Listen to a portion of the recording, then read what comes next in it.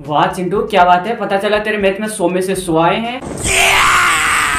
लेकिन ना, उदास क्यों है? भैया, अगर मेरे सो में से सो भी आए हैं ना मैथमेटिक्स में, फिर भी इस देश में रहने का क्या फ़ायदा है? चार साल में इंजीनियरिंग में गुजारना पड़ेगा सारा जीवन, उसके बाद भी जॉब नहीं मिलेगा।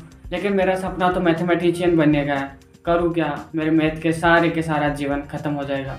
मेरा सपना मैथ में पढ़ने का है बहुत ज़्यादा। अरे कहना क्या चाहते हो? क्या बात कर रहा है चिंटू? तुझे नहीं पता? ज़ीरो की खोज ना हमारे देश के अंदर ही हुई है शून्य की खोज। तुझे पता है सीएमआई और आईएसआई के बारे में जानता है? नहीं मैंने आईएसआई का नाम सुना है वो पाकिस्तान की खुफिया एजेंसी है। सीएमआई का नहीं सुना।